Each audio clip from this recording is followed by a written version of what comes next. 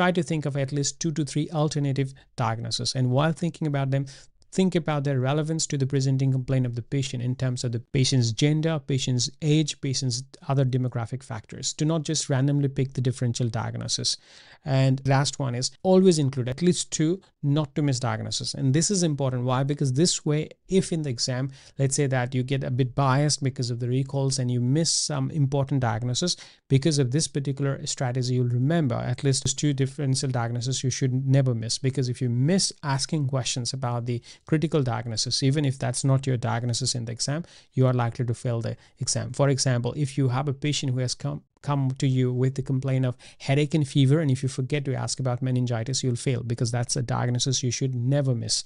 So just like that in every presenting complaint make a habit of thinking about two critical diagnoses that you should not miss.